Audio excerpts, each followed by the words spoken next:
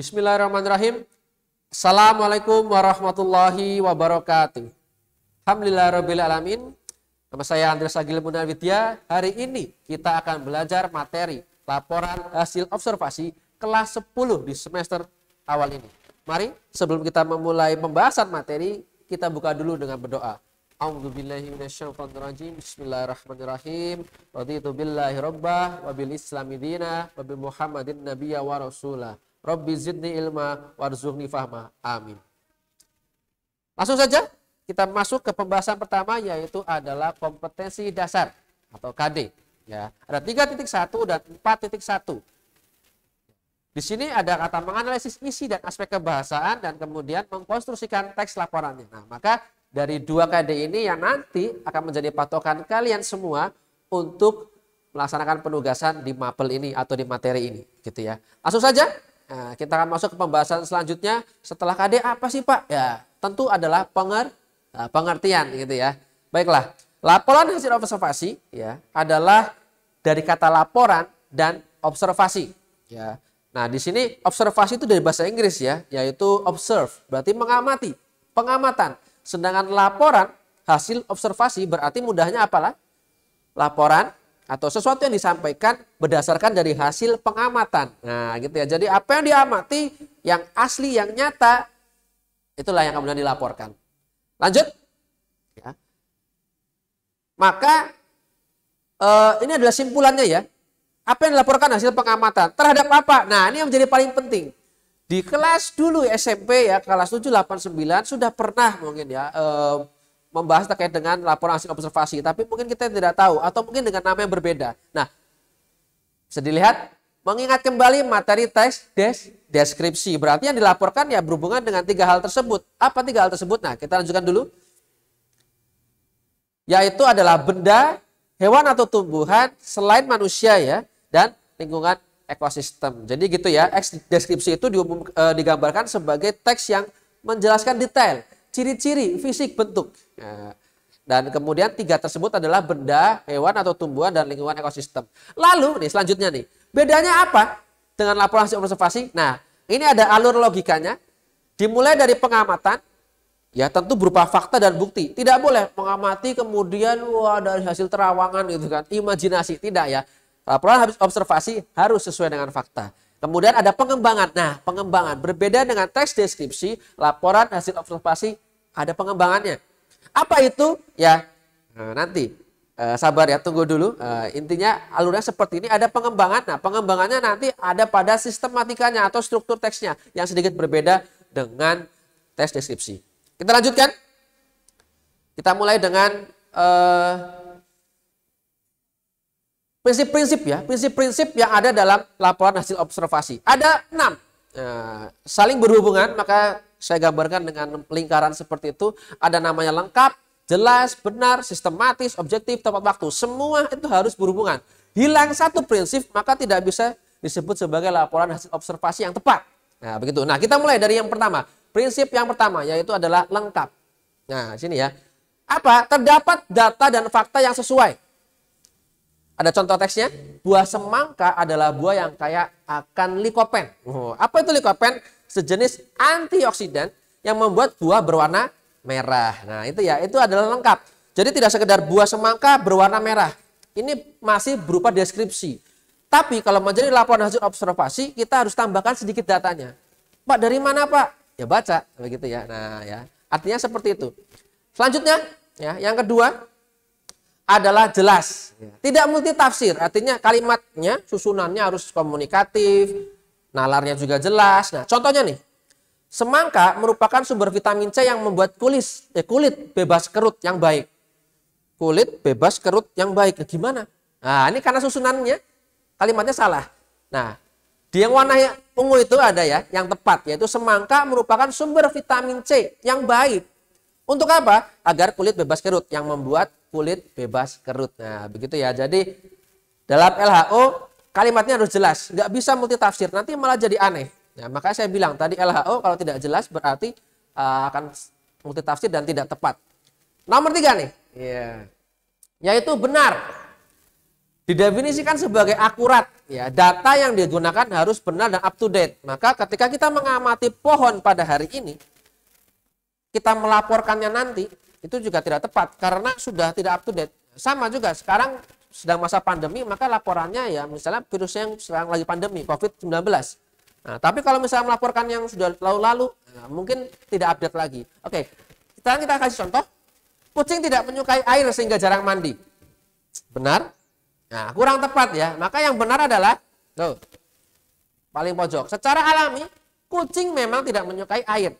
Tetapi ada jenis kucing yang memang membutuhkan air, ya artinya membutuhkan mandi sebagai perawatannya. Yaitu adalah kucing dari jenis Anggora, Persia atau yang lain-lain gitu ya, kucing-kucing hias itu. Nah ya, jadi itu yang lebih benar. Yang jarang mandi itu memang uh, kurang benar gitu ya, artinya belum begitu tepat, belum akurat, maka diakuratkan lagi dengan tambahan itu tadi informasi. Yang keempat, ya, yaitu objektif. Nah, silakan diperhatikan. Objektif ini memang agak sulit dalam nanti e, perjalanannya membuat laporan hasil observasi. Kenapa? Karena memang semakin banyak baca, kita semakin banyak objektif. Kalau tidak, nanti subjektif. Oke, contoh lagi ya. Karena saya pun juga kucing, maka saya kasih contoh kucingnya. Oke, kucing lebih disukai manusia daripada anjing. Ini kurang objektif. Ya, karena mungkin kita ada di Indonesia, ya kemudian mungkin mayoritas Muslim, maka seolah-olah tidak menyukai anjing. Padahal banyak juga yang menyukai anjing, cuma mungkin menghindari ya kan ya tadi ya eh, hal-hal uh, yang berhubungan dengan tadi najisnya dan sebagainya. Oke. Okay. Tapi secara umum yang objektif adalah kucing dan anjing sama-sama disukai eh, manusia. Tetapi bagi seorang muslim, kucing tentu lebih disukai ketimbang anjing. Ya tahu ya, kenapa tadi ya saya bilang ya? Karena ada beberapa aspek yang memang membuat eh anjing jadi tidak disukai. Sebenarnya memang sama-sama lucu, sama-sama berbulu, bahkan sama-sama setia sebenarnya. Ya, gitu ya seperti kalian itu ya. Oke lanjut nomor lima adalah tepat waktu. Nah tadi ya berhubungan dengan eh, benar ya tadi berhubungan dengan yang tadi sebelum-sebelumnya di mana kalau harus up to date yang disampaikan hari ini ya harus disampaikan hari ini. Jangan kemudian berubah atau jangan kemudian ditunda-tunda atau menyampaikan yang sebelum-sebelumnya. Nah, contoh aja nanti ada ya di SMKIT ada namanya Masjid As-Salam. Nah, tahun berapa dilaporkan? Tahun 2008 belum ada. Nah, gitu ya. Maka tidak boleh ya. Atau mungkin Masjid As-Salam dilaporkannya tahun 2022 padahal pembuatannya tahun 2019 pasti akan banyak perubahan gitu. Atau mungkin kompleks ya sekolah gitu kan. Dilaporkannya tahun 2030 pasti akan berbeda dengan tahun 2021 kan. Nah, maka harus up to date. Sama seperti berita. Dan yang terakhir 6 yaitu adalah sistematis. Nah, ini ya silakan ini adalah yang membedakan teks deskripsi dengan teks laporan hasil observasi. Sistematikanya apa? Oke. Yang pertama ada pernyataan atau identifikasi umum. Nah, ini nanti berisi kalimat yang biasanya ada kata adalah, merupakan. Nah, itu pasti ya adalah pernyataan umum atau identifikasi umum. Yang kedua adalah aspek yang dilaporkan. Terbagi menjadi dua, yaitu deskripsi bagian saya sampaikan tadi di deskripsi ada ciri-ciri. Nah, ciri-ciri bentuk itu ada di deskripsi bagian. Yang berikutnya ada apa? Deskripsi manfaat. Nah, jadi ya, jadi kegunaan manfaat. Kalau kita bicara laporan hasil observasi, berarti sudah ada manfaat lain, atau sudah ada kegunaannya, atau sudah hal-hal lain yang dikembangkan tidak sekedar mengetahui kucing itu berkaki empat, punya cakar, kadang warna oranye, ya, oranye yang barbar gitu ya, enggak juga ya. Ya, itu seperti itu ya. Nah, itu kemudian digunakan lagi, di, diulah lagi, diterus dikembangkan lagi. Kira-kira kumis kucing buat apa gitu? Buat makan, nah itu tumbuhan beda lagi ya. E, kumis itu buat apa? Cakarnya buat apa ya kan? Ekornya kemudian panjang itu kira-kira seperti apa? Nah itu adalah deskripsi dari manfaat. Kalau hewan, kalau lokasi atau kalau benda, wah tentu ya akan semakin banyak lagi. Ya itu nanti akan kalian latih di penugasan. Selanjutnya, nah, ini adalah contoh tadi yang saya sampaikan. Nah ini adalah contoh dari teks laporan hasil observasi dan semoga ya kalian membaca ini dan nanti memahami dan nanti kita akan latihan nih ya di penugasan yang berhubungan dengan laporan hasil observasi. Oke. Bisa dilihat yang pertama bicara lokasi, tempat, ya kemudian bicara tahun. Nah, ini adalah yang umum-umum nih, ya kan? Kemudian memiliki kubah warna hijau dan sebagainya adalah deskripsinya, bagian-bagiannya, ciri-cirinya. Yang terakhir, digunakan sebagai tempat ibadah dan lain-lain. Nah, berarti adalah man manfaatnya. Nah, semoga teks ini bisa nanti menjawab hmm, apa sih perbedaan LHO dengan deskripsi atau mungkin nanti juga bisa jadi nah, kalian apa melihat ini untuk menjadi contoh penugasan dalam uh, materi eh, LHO hari ini. Begitu ya. Oke, yang terakhir di SMKT Soal Fikir maka kita juga ada hubungannya dengan Al-Qur'an ya. Maka ini yang terakhir, materi terakhir ini di LHO yaitu apa sih? Ada tidak? Ya kan? Supaya kita mendapatkan hikmah dari mempelajari laporan hasil observasi. Ada. Di Quran surat Al-Kahfi Quran surat 18 dari ayat 85 sampai 99 di situ semua bercerita tentang observasi. Dari siapa? Raja Zulkarnain.